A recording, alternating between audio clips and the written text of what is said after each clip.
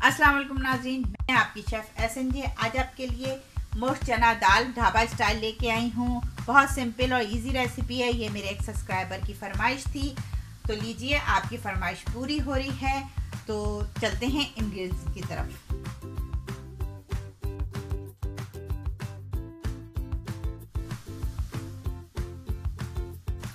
जी नाजीन most चना दाल की ingredients मुर्गी ली हमने हाफ़ के जी 250 ग्राम दाल है, जिसे मैंने ओवरनाइट सूप कर दिया था और उसके बाद मैंने इसे नमक और हल्दी डाल के उबाल लिया है। और आप देख सकते हैं कि ये इतनी गली है इस तरह।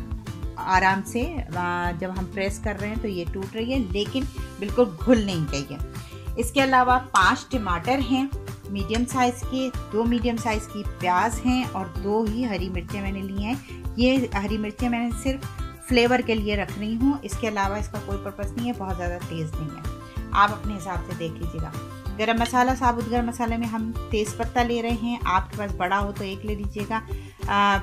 ये दालचीनी का एक छोटा टुकड़ा है। बड़ी इलायची है, तीन लौंगे हैं, दस काली मिर्चें हैं, एक टीस्पून ज़ीरा है। इसके अलावा पिसे गरम पिसे मसालों में है हमने अजीनोमोटो लिया है। अजीनोमोटो के लिए अक्सर लोगों ने मेरी एक और वीडियो पे कमेंट्स किया कि पाकिस्तान में नहीं मिलता। आई थिंक मिल जाता होगा। आ, मैं ख़ुद क्योंकि बाहर रहती हूँ तो आ, बाहर तो ये आसानी से अवेलेबल है। आ, लोग आ, इसके बारे में जो कुछ कहते हैं लेकिन अगर जैसे ये डिश हम जो बना रहे हैं ढाबा स्टाइल की तो बाहर रेस्टोरेंट्स में जितने खाने बनते हैं होटल्स में रेस्टोरेंट्स में उनमें अजीनोमोटो ज़रूर इस्तेमाल होता है और ये क्योंकि ढाबा स्टाइल है तो मैं इसे इस्तेमाल कर रही हूँ। हाफ़ टी स्पून है अजीनोमोटो, वन टी स्पून लाल मिर्च, हाफ़ टी स्पून गर्म मसाला, वन टेबल स्पून धनिया पाउडर है। वन टी स्पून नमक है हाफ़ टी स्पून हल्दी है। वन टीस्पून नमक हम इसमें डाल चुके हैं। आ, और हमने क्योंकि इसे ड्रेन किया है यानी जितना एक्सेस पानी था हमने निकाल दिया तो इसमें नमक इतना ज़्यादा नहीं आया है। हाफ़ कप ऑयल है दो टेबल स्पून दही हरा धनिया आपकी चॉइस है जितना आप डालना चाहें डाल डालें तो अच्छा लगता है। इसके अलावा दो टीस्पून लहसुन अदरक का पाउडर और वन टीस्पून भरकर ये आ, कसूरी मेथी है। और अब हम चलते हैं अपनी कुकिंग की तरफ़। जी नाजीन, सबसे पहले हम इसमें तेल शामिल कर रहे हैं।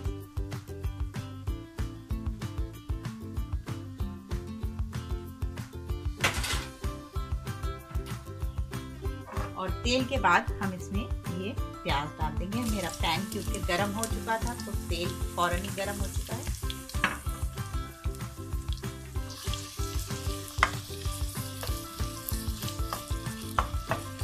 प्याज को हम गोल्डन ब्राउन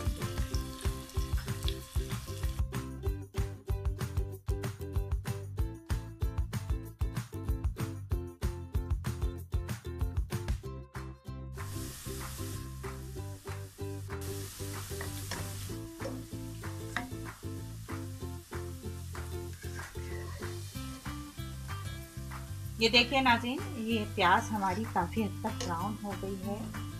और अब मैं इसमें ये खड़े मसाले पहले डाल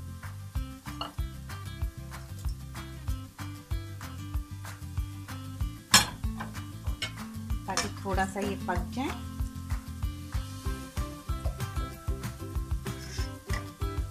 ये मैंने मीडियम टू लो आँच पे प्याज फ्राई की है और इसको मैंने अब लो कर दिया है। प्याज इतनी हो चुकी है जितनी हमें चाहिए थी, अब हम इसमें दस मिनट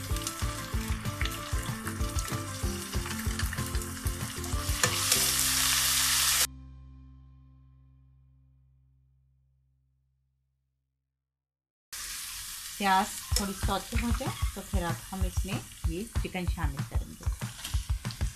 चिकन के मैंने छोटे ही पीसेस रखे हैं। और इतना इसको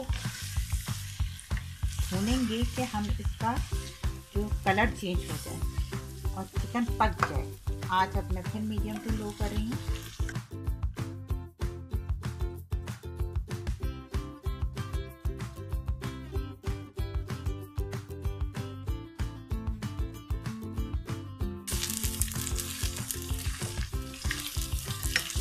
देखें ना चिकन का कलर बिल्कुल चेंज हो चुका है। अब मैं इसमें टमाटर शामिल करूँगी।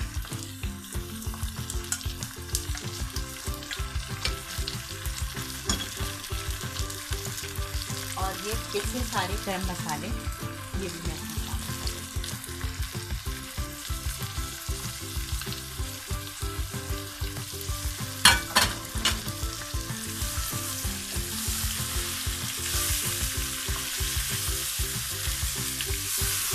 बहुत ईजी और सिंपल सी रेसिपी है। आपको पता है ढाबों वगैरह में तो खट खट खट खट पकता है। फटाफट वो पकाते हैं।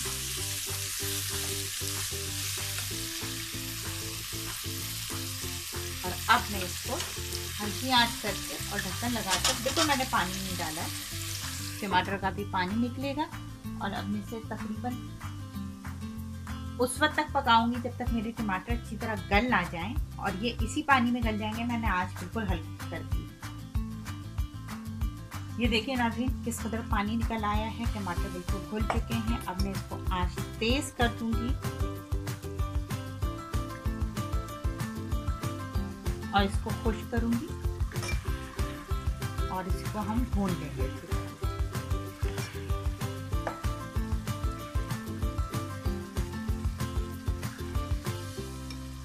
साथ साथ ही मैं इसमें अब ये दही भी शामिल कर रही हूँ। दो टेबल स्पून दही। और आज हम इसे टेस्ट करते हैं।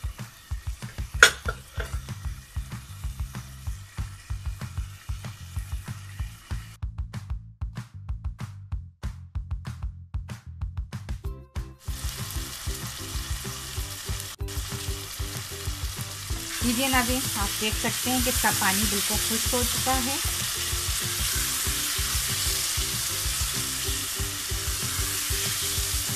हम हल्का से इसे भून लेंगे और साथ ही हम अब इसमें मेथी शामिल करेंगे।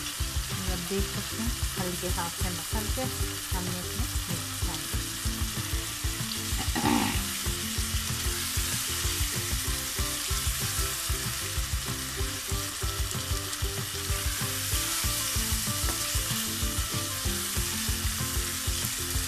तरह तेल बाहर आ गया है और हमारा मसाला भी बिल्कुल मैश हो गया देखिए, टमाटर बिल्कुल मैश हो चुके हैं।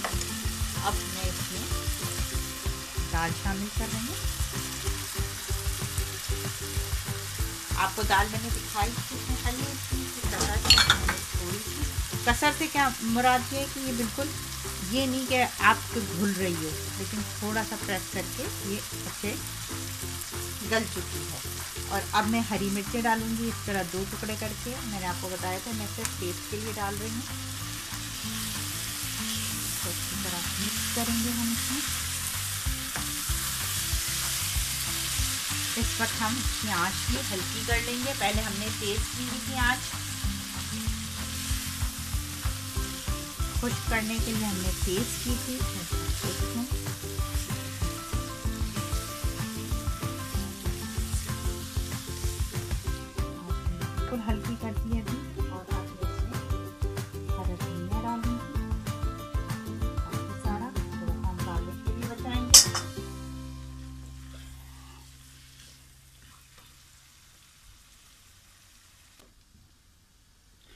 जी नाजरीन ये देखें दाल हमने अच्छी तरह इसमें मिक्स कर लिया हरा धनिया भी डाल दिया।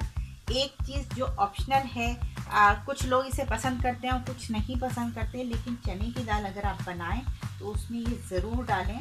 आ, एक तो ये हेल्थ के हिसाब से भी क्योंकि दाल में जो बादीपन होता है चने की दाल में वो इसे ख़त्म करता है। और ये है जूलियन कटी हुई प्याज प्याज कह रही हूँ सॉरी अदरक। जूलियन अदरक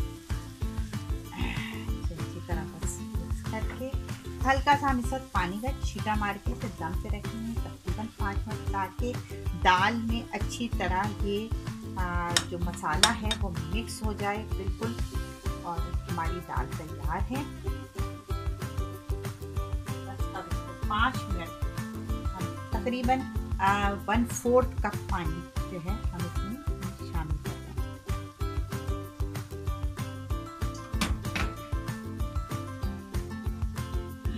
थोड़ी सी इससे ग्रेवी सी भी आ जाती है और ये हम पाँच मिनट के लिए रख दें और फिर मैं आपको डिश आउट करके दिखाऊँ लीजिए नाजीन मज़ेदार मुर्ग चना दाल, ढाबा स्टाइल तैयार है। सिंपल और इजी रेसिपी कोई ऐसा आपको मुश्किल काम नहीं करना है इसमें, फटाफट बन जाती है। आई होप कि आपको पसंद आई होगी। पसंद आए तो लाइक का बटन दबाइए शेयर कीजिए अपने फैमिली एंड फ्रेंड्स में। इरफान बेटा, जिन्होंने इसकी फरमाइश की थी उम्मीद है कि आपकी समझ में आ गई होगी। अगर आपको कोई सवाल मुझसे पूछना हो तो फील फ्री आप मुझसे पूछ सकते हैं। इंशाल्लाह फिर मिलेंगे नेक्स्ट वीडियो के साथ। अल्लाह हाफिज़।